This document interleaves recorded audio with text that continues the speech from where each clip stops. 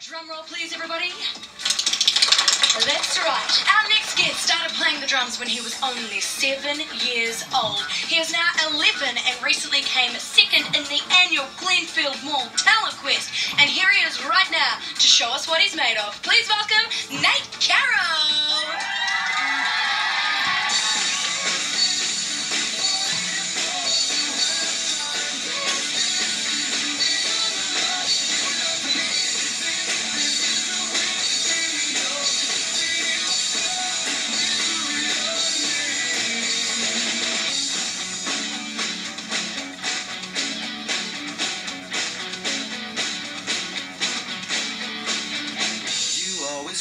Just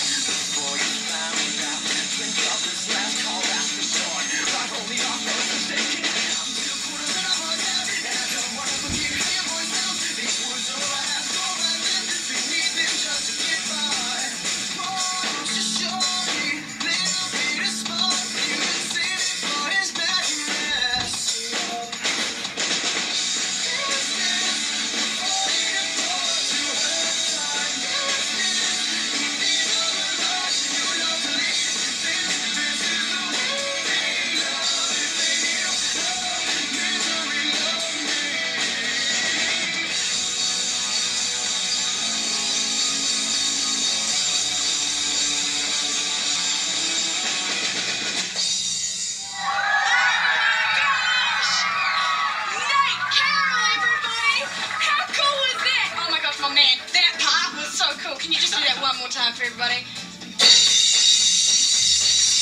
Oh yeah, round of applause, everybody, for Nate Carroll. That was the coolest thing ever. I think you just woke up all the neighbours, man. Good for them. Um, so what do you love about drumming so much? Well, I like the beat and how loud you can play them. Yeah. Do mum and dad have like rules down at home so you Yeah. play it at like 3 in the morning? Yeah.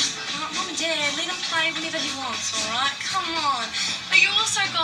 But you also got second in the Glenfield Mall Talent Fest, and there were so many people involved in this talent fest. So to get to second place was absolutely phenomenal. They were doing heats all week, weren't they? Yeah. That is amazing. So you walked away with that. How cool. But you know what?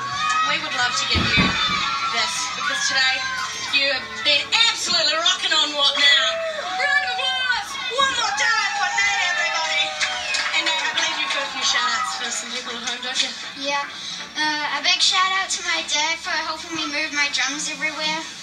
And these things are heavy! So thanks, Dad. awesome. Well, before you go, Nate, I, have actually got a bit of a joke for you. Do you want to hear it? Yeah. Okay. Knock, knock. Who's there? Abby. Abby who? Abby Birthday to all of you.